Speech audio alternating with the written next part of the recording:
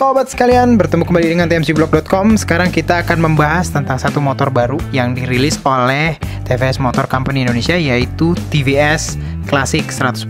Nah, pada dasarnya motor ini diimpor dari India. Di India sana namanya TVS Jupiter Classic 110. Nah, karena di Indonesia ada yang namanya Jup Jupiter juga produk motor, makanya TVS Indonesia menghilangkan nama Jupiter jadi hanya TVS Classic 110 aja. Mesinnya 110 cc 109,7 pas-pasnya dengan uh, power 7,99 HP di 7500 rpm dan uh, torsi maksimum di 8 Nm di rpm 5500. Sobat bisa lihat di sini. Nah, ini adalah gambaran dari dashboardnya. Cukup lengkap sih kalau saya bilang untuk ukuran motor yang uh, klasik seperti ini. Bentukannya boleh dibilang klasik banget, mirip-mirip gaya-gaya Vespa gitu ya, motor-motor Vespa dari depan ke belakang nggak ada yang edgy cenderung membulat cenderung besar. Gayanya pas banget seperti nah ini kayak gini nih. Nanti kita akan tes juga bagaimana cara membuka fuel cap belakang dan sobat bisa lihat di sini bagasi under seatnya atau di bawah joknya cukup lebar cukup luas sehingga cukup untuk satu helm full face. Ya ini adalah detail bagian uh, balik lagi ke bagian dashboard. Lalu ada kayak windshieldnya juga gitu. Windshieldnya modelnya juga klasik saya bisa lihat ya. Terus habis itu kaca spionnya juga klasik dan itu ada kayak detail cuk ternyata. Wah berarti apa? Motor ini masih menggunakan sistem karburator sob. Oke jadi masih menggunakan sistem karburator.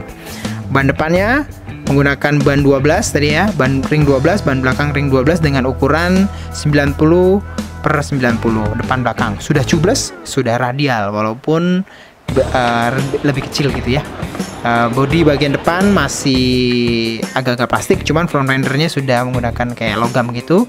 Decknya lebar ya decknya lebar nih jadi kayak gaya-gaya motor-motor klasik ya. Jadi le lebar dekat tengahnya. Kan kalau Vespa tengahnya ada kayak kayak yang uh, batang gitu ya. Nah kalau ini lebar benar-benar rata. Ini adalah uh, lubang kunci belakang.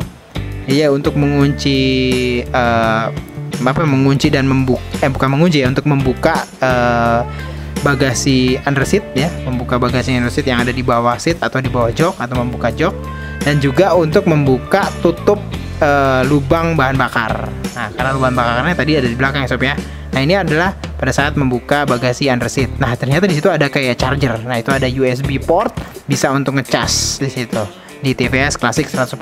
Nah, kalau uh, sobat bisa lihat ya, tadi ada kayak ke kanan, ada ke kiri. Nah, ini untuk membuka fuel cap.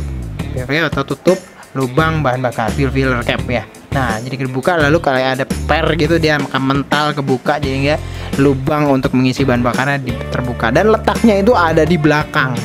Tempat untuk mengisi bahan bakar. Menarik sob. Lampu belakangnya sobat bisa lihat tadi gede banget.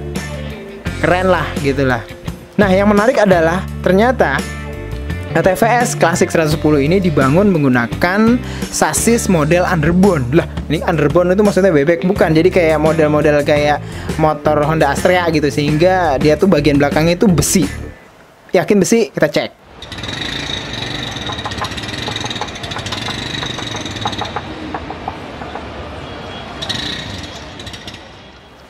Nah, sobat yakin kan udah bunyi kelontang-kelontang gitu kan? Itu artinya besi. Jadi bodi belakang itu besi. Jadi mirip juga seperti kayak Vespa. Tapi kalau Vespa itu besi, terus habis itu ke decknya juga besi. Nah, ini decknya masih plastik. Cuman ini bagian bagian belakang, bodi belakang sampai bagian deck tengah, tapi deck depannya masih plastik biasa. Itu aja sob.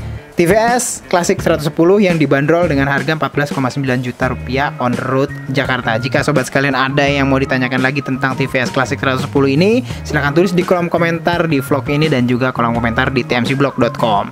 Jangan lupa like dan subscribe uh, kanal kami di youtube.com slash tmcblog juga Instagram di at tmcblog sampai berjumpa di review selanjutnya salam